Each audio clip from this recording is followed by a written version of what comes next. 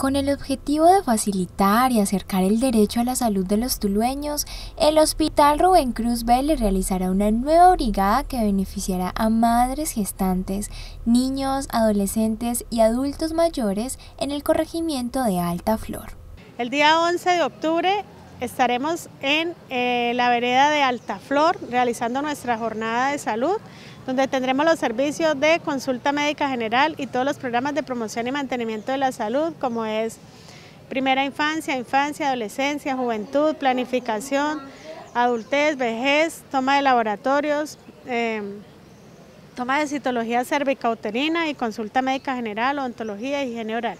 En lo que va del año, el Hospital Rubén Cruz Vélez ha realizado alrededor de 142 brigadas en beneficio de la ciudadanía. Estas EPS subsidiadas son las beneficiarias. Esta brigada va dirigida a los usuarios afiliados a la EPS Sanar, Nueva EPS y ASME Salud, en el horario de 8 de la mañana a 3 de la tarde.